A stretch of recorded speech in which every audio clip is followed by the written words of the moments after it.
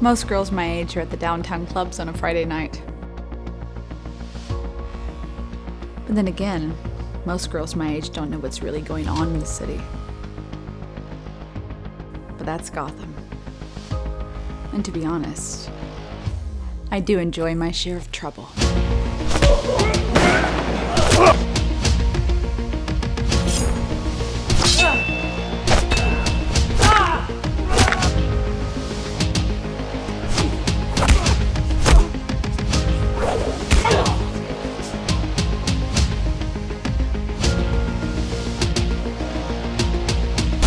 Just another Friday night in Gotham.